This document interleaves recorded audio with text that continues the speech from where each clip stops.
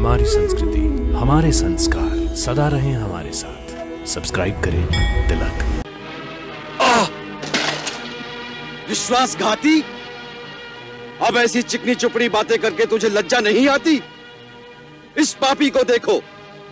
मैं इसको अपना अनुज समझकर अपनी रक्षा के लिए गुफा के मुँह के द्वार पर छोड़ गया था। ये कहकर कि मेरे आने तक यही पहरा देना ताकि जब तक मैं उस मायावी दानव से युद्ध करके उसे मार न लू। और कोई इस राक्षस की सहायता के लिए अंदर ना सके, परंतु इसने भ्रातृद्रोह किया है। मेरी रक्षा करने की जगह इस दुष्ट ने उस कंदरा के मुँह पर एक बड़ी सी शिला रखकर उसे बंद कर दिया। अवसर पाकर राज्य पद भी ग्रहण कर लिया। अपने भाई और राजा के साथ द्रोह करके ये मृत्यु दंड का पात्र हो गया है।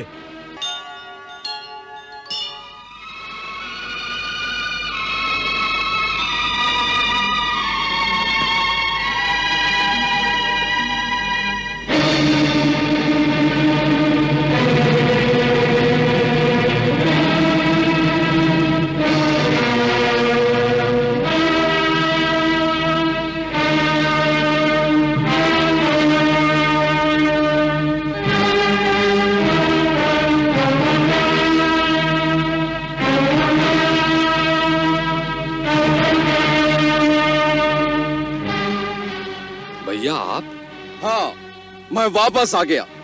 मैं जानता हूँ, मेरे जीते जी वापस आ जाने से तुम्हें बहुत कष्ट हुआ होगा। हाथ में आया हुआ राज्य जाता दिखाई दिया होगा। नहीं भैया, आप मुझे गलत न समझे। मैंने ये राज अपनी इच्छा से नहीं लिया। मंत्रियों तथा पूर्ववासियों ने मिलकर मुझे इस सिंहासन पर बैठाया है। अभी इसलिए कि राजा रहित राज्य देखकर कोई शत्रु इसे जीतने की इच्छा से आक्रमण न कर बैठे। यह राज आपकी धरोहर है। यह राज आपका है भैया। मैं आपका वही सेवक हूँ भैया। विश्वासघाती? अब ऐसी चिकनी चुपड़ी बातें करके तुझे लज्जा नहीं आती? इस पापी को देखो। मैं इसको अपना अनुज समझकर अपनी रक्षा के लिए गुफा के मुँह के द्वार पर छोड़ गया था। ये कहकर कि मेरे आने तक यही पहरा देना ताकि जब तक मैं उस मायावी दानव से युद्ध करके उसे मार न लूँ और कोई इस राक्षस की सहायता के लिए अंदर ना सके, परंतु इसने भ्रातृद्रोह किया है। मेरी रक्षा करने की जगह इस दुष्ट ने उस कंदरा के मुँह पर एक बड़ी सी शिला रखकर उसे बंद कर दिया। अवसर पाकर राज्य पद भी ग्रहण कर लिया। अपने भाई और राजा के साथ द्रोह करके ये मृत्यु दंड का पात्र हो गया है। अब मैं अपने हाथों इसका वध करूँ तो अनुचित नहीं होगा। नहीं महाराज ये सत्य नहीं है। आज मैं तुझे नहीं छोड़ूँगा। महाराज मैंने कोई विश्वासघात नहीं किया। तू है। तू यहाँ राजा बन के बैठ मैं गया। एक वर्ष तक गुफा के बाहर आपकी आज्ञा अनुसार खड़ा रहा। तू समझा मैं मर गया। फिर जब अंदर से लहू की धार निकली और आप बाहर नहीं आए तो मैंने समझ लिया कि दानव ने आपका वध कर दिया है। छोड़ूँगा नहीं मैं आज। जान से इस डर से कि दानव मुझे भी मार डालेगा। और किशकिंधा को उजाड़ देगा। तो मैंने एक बड़े पत्थर से उस गुफा का मुँह बंद कर दिया। मेरी भूल को क्षमा करें महाराज। मुझे क्षमा करें महाराज! तू समझता क्या है कि तू राजा बन गया? किसकिंदा का राज्य करें महाराज। दुष्ट पापी कायर भाग के कहा जाता है? छोड़ूँगा नहीं तुझे आज मैं।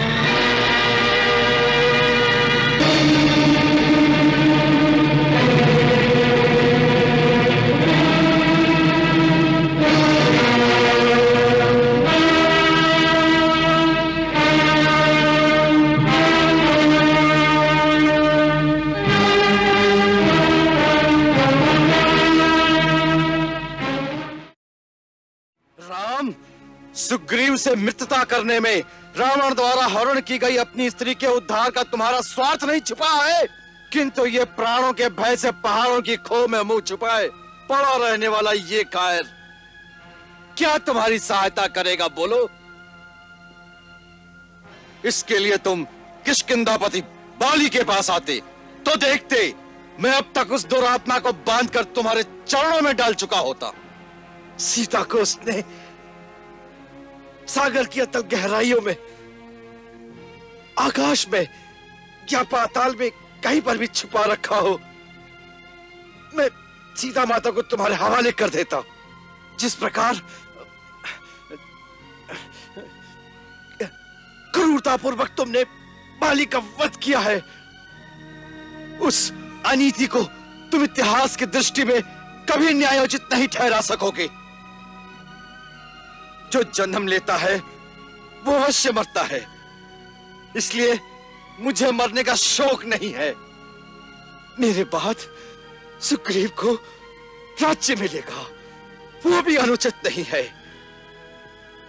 अनुचित इतना ही है कि तुमने मुझे रणभूमि में मेरे साथ वीरों की भांति युद्ध करके मुझे नहीं मारा। मुझे अधर्म पूर्वक मारा है तुमने। तुमने मेरी निरपराध हत्या की है। तुम्हारे इस पाप का प्रायश्चित कभी नहीं होगा। राम, कभी नहीं होगा।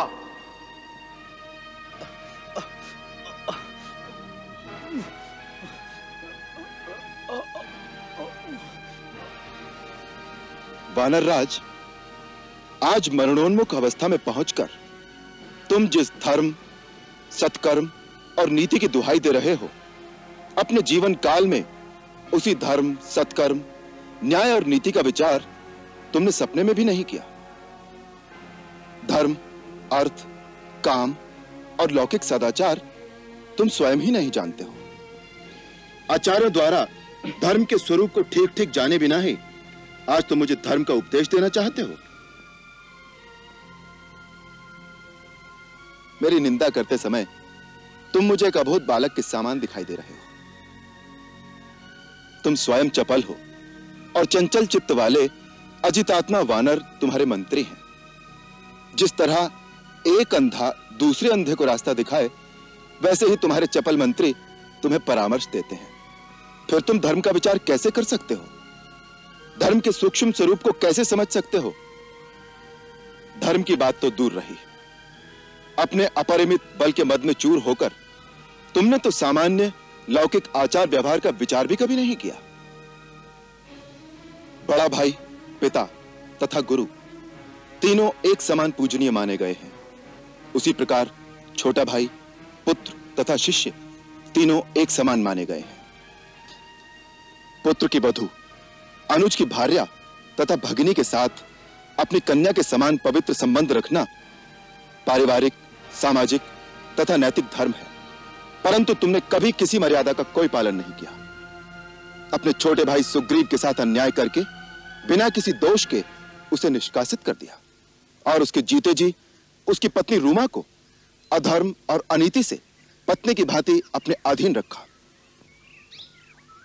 ऐसे पुरुष का वध करना ही उसके लिए उपयुक्त दंड माना गया है। यदि ये मेरा पाप भी था तो दंड देने का अधिकार केवल राजा को होता है। तुम्हें क्या अधिकार था? न्याय का भार अपने हाथ में लेने का? अहंकारी बानर तुम्हें यह विदित होना चाहिए कि पर्वतों, वन और कानूनों से युक्त यह सारी पृथ्वी हमें इक्ष्वाकु वंश के राजाओं की है। इस समय इक्ष्वाकु वंश के राजा भरत है।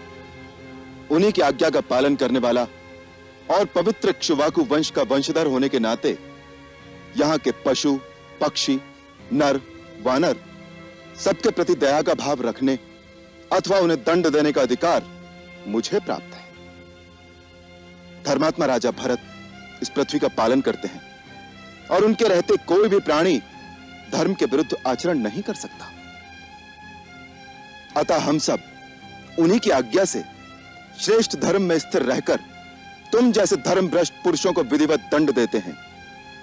वाली सत्पुरुषों का धर्म अति सूक्ष्म होता है।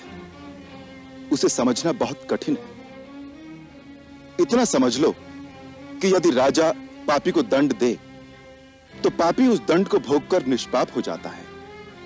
परंतु यदि राजा पापी को उचित दंड न दे तो उस दंड का फल राजा को स्वयं भोगना पड़ता है।